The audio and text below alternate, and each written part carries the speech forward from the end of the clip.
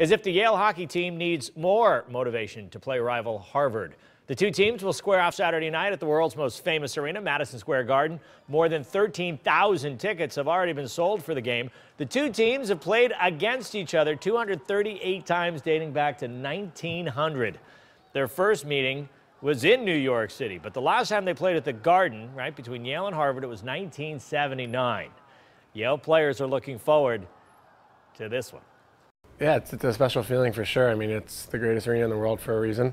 And, uh, you know, playing Harvard, our biggest school rival, is obviously going to make it that much better. Yeah, I mean, we're all huge hockey fans, and I think to, to be in a historical building like Madison Square Garden, the most world's most famous arena, uh, it, it's going to be pretty cool for everyone. So uh, it's, it's going to be an awesome, awesome event, and I know the guys are looking forward to it.